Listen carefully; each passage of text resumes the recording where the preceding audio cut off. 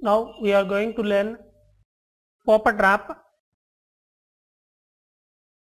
Puppet Warp is used to animations and photo modification creations. Create a new document. Width of the document 6 inches. Height of the document 4 inches. Resolution 300. Color mode RGB colors. Background white. Click OK button. Open a transparent background image. Click and drag photograph on new document. Close this original document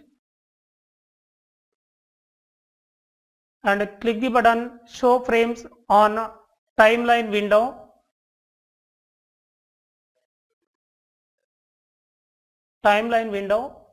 Press Ctrl plus J create three duplicate layers and three frames on animation window.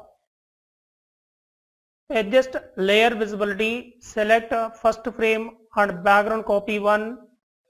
Close this remaining layers visibility, select the second one and give copy to selection. Select this third frame and third image layer, close this remaining layers visibility. Now go to edit menu and select option Puppet Warp. To display the Puppet Warp mesh on image, create number of control points. Select any control point and modify inside or outside. Press enter key, apply the modification. Select the second layer and second frame.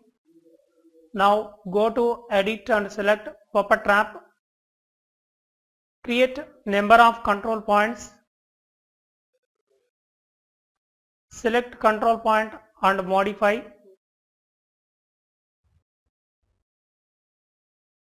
Select this third layer on third frame.